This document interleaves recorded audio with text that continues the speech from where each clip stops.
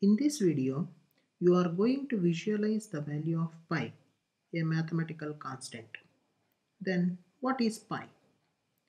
Regardless of the circle's size, the ratio of circle's circumference to its diameter is a constant and this constant is known as pi which is an irrational number.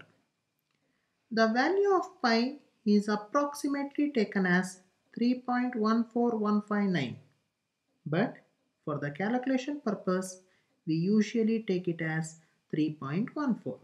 Now you can observe when I change the size of the circle the ratio of circumference to its diameter remains same which is a mathematical constant pi. Here the radius of the circle is 4 units. Diameter is equal to twice the radius that is 2 into 4 8 units. Now the ratio of circumference to its diameter is 25.13 by 8 that is equal to 3.14159. Now you can observe that when I change the radius of the circle, let's change the radius of circle to 2 units. Radius of circle is 2 units. Then the diameter is equal to twice the radius that is 4 units. Now the ratio of circumference to its diameter is equal to 12.57 by 4. Let's see whether it is 12.57.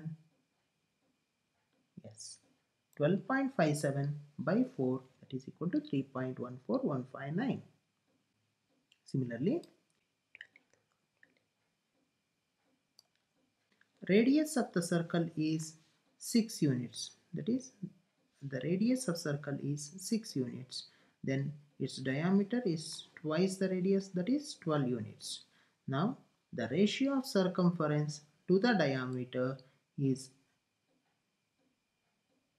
37.7 by 12 that is equal to 3.14159 this is how we can visualize the ratio of circumference its diameter is always a constant that is pi. Usually we use the value of pi to calculate the area of circles and the area occupied by circular objects.